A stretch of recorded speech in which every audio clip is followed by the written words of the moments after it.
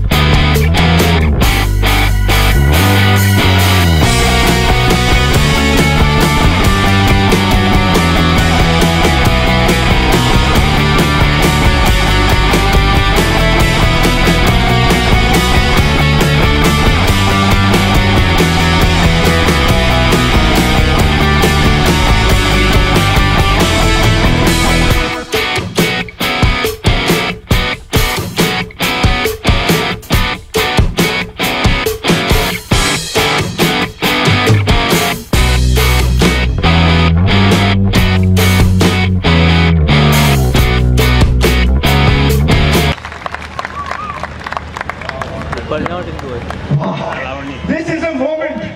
This is a moment. How do you feel being a part of like, the legacy of the Roshan family, Roshan Sahab, and being a part of the, this this concert called Roshan se Roshan सबसे पहले तो आप सबका दिल से स्वागत बहुत बहुत शुक्रिया आप सब यहाँ पर आए हैं आज मैं इतना खुश हूँ मेरे हिसाब से तो मुझे लगता है कि यहाँ पर जितने भी हैं सबसे ज़्यादा खुश मैं हूँ। क्योंकि अपने चाचा का सबसे बड़ा फ़ैन दुनिया में मैं हूँ। बैठ गया। गाना सुना रहे हैं जो वादा की जो बात तुझ में है पाँव छू लेने दो। कैसा लग रहा है? अच्छा लग रहा है। और अच्छा लग रहा है या बहुत अच्छा? नहीं अच्छा अच्छा सात साल के बच्चे से। wow Ritik, what has been the contribution of Rajesh Roshan to your career? I mean, starting with, of course, Kahona Pyar tak yaad kiya jata hai. Please tell me. In what words would you like to describe that? some things are indescribable. If I put words to it, I will insult it. I can't. इतना talent घर में है तो बाहर क्यों ढूंढे और talent के साथ हम में तालमेल है हम एक दूसरे को समझते हैं। तो जब भी मैं कोई गाने की सिचुएशन समझाता हूँ तो लोकेशन के साथ समझाता हूँ, क्या करने वाले हैं एक्टर एक्ट्रेस वो क्या करने वाले हैं। उस तरह से इंस्पायर करते हैं। प्यार मिल रहा है लोगों से, रोशन खानदान को, जो मेरे फादर ने बहुत मुश्किल से शुरू की थी अपनी जर्नी तो दिल्ली से आए थे, जंग तरंग बजाते थे दिल्ली में ऑल इंडिया रेडियो में। बॉम्बे आए। बहुत कठिनाई से उनको म्यूज़िक डायरेक्टर बनने का मौका मिला। पहली पिक्चर थी उनकी नेकी बदी, केदार शर्मा जी की। वो पिक्चर चली नहीं। वो वापस जा रहे थे।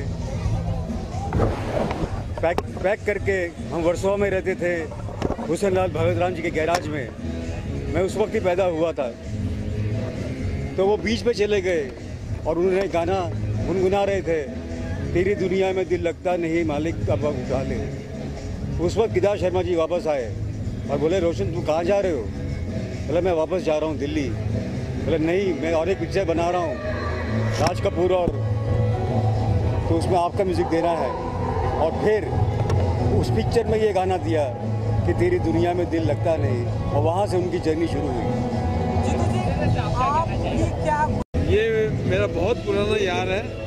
और इसका छोटा भाई मेरे छोटे भाई जैसा है। और बहुत टैलेंटेड म्यूज़िक डायरेक्टर है।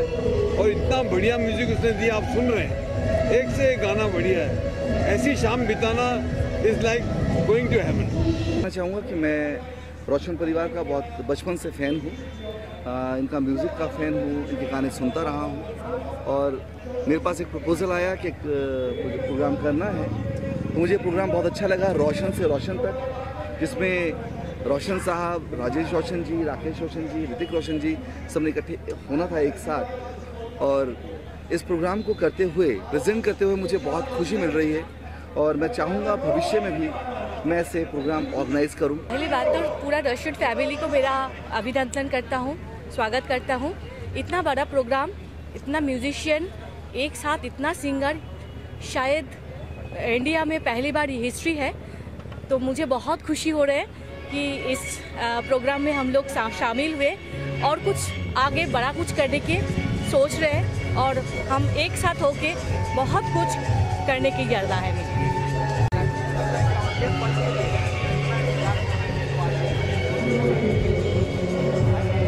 ये बहुत बड़ा कॉन्सर्ट है। ये सोच बहुत बड़ी थी। इतनी बड़ी सोच को आगे लेके जाना आसान नहीं था। बहुत मुश्किल था।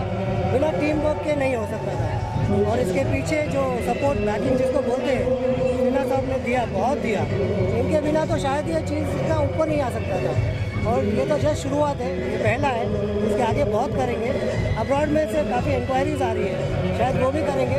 रोशन से रोशन तक का कॉन्सर्ट को पूरे वर्ल्ड में लेके जाएँगे। और एक रॉयल फैमिली की तरफ़ से मैं काफ़ी इनको बधाई देता हूँ। ये प्रोग्राम इनका बहुत अच्छा रहा, बहुत अच्छा रहा, पुरानी रोशन से, रोशन तक ये जो प्रोग्राम है, यहाँ आके मुझे बहुत ही अच्छा लग रहा है।